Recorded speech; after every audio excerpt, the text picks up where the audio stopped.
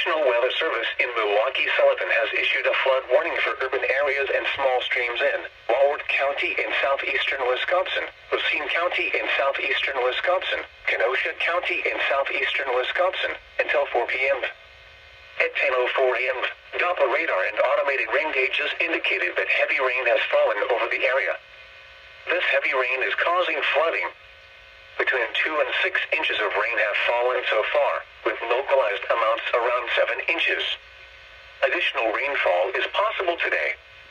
A flash flood warning may need to be reissued if additional heavy rainfall affects the area. Some locations that will experience flooding include Kenosha, Mount Pleasant, Pleasant Prairie, Elkhorn, Delavan, Lake Geneva, Sturtevant, Twin Lakes, Union Grove, East Troy, Paddock Lake, Williams Bay, Camp Lake, Wind Lake, Rochester, Genoa City, Walworth, Silver Lake, Fontana on Geneva Lake and Sharon. Turn around, don't drown when encountering flooded roads. Most of flood deaths occur in vehicles,